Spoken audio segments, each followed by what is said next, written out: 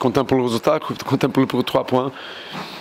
Euh, C'était là, mais un match où nous avons 8 occasions de but, 4-5 clairs face à le gardien. Euh, nous souffrons pour rien. C'est vraiment, nous avons manqué un peu d'efficacité sur le dernier geste. C'est vraiment le dernier geste, mais un match comme ça, un, adversaire avec un bloc euh, quelquefois très très bas, qui a forcé nous à avoir patience, à trouver un, peu l'espace extérieur je disais avant. On a besoin de quand un match comme ça, avoir un peu de patience et toucher l'espace extérieur pour après trouver les intervalles intérieurs. Sinon après, on force un peu l'espace intérieur et on perd le ballon. Et on prend un peu de transition. Il y a un peu 5-10 minutes, le premier mi-temps que nous avons fait ça.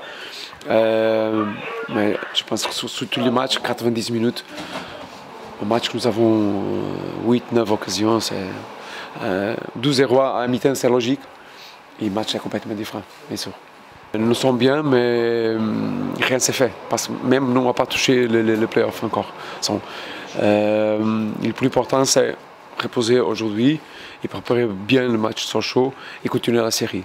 Parce que c'est sûr qu'on on, reste euh, concentré sur notre, notre travail, notre compétence. Et les résultats des adversaires, c'est comme les séries seulement. Parce que si on fait notre point, euh, nous allons toucher plus haut.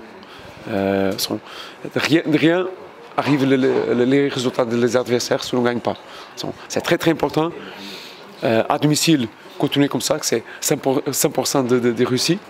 Et à, l'extérieur, continuer comme nous avons été avant, c'est euh, chercher le maximum de points possible et toucher vraiment le maximum de, de points qui va faire la différence aussi, bien sûr.